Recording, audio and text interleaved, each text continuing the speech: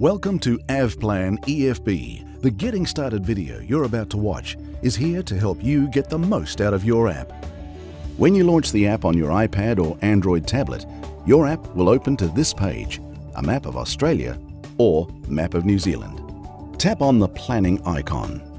The planning pane will be displayed with a list of planning options to choose from. Select the weights and balance item from the list to display the weights and balance configuration settings. Enter the weight of passengers in the appropriate seats.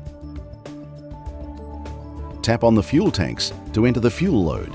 The fuel planning table to the right will update. Tap on Persons on Board and enter the number of persons on board. Tap Planning to go back. Tap the Submit Flight Plan icon. The first time you submit a flight plan, enter your name, contact details, and your NAIPS username and password. Scroll down the page and tap Submit. Your flight plan will be sent to Air Services Australia via NAIPS or Airways New Zealand by IFIS. To print your flight plan, tap the planning icon on the bottom of the right-hand pane. Select Print Send option. This will display the items that are available to print.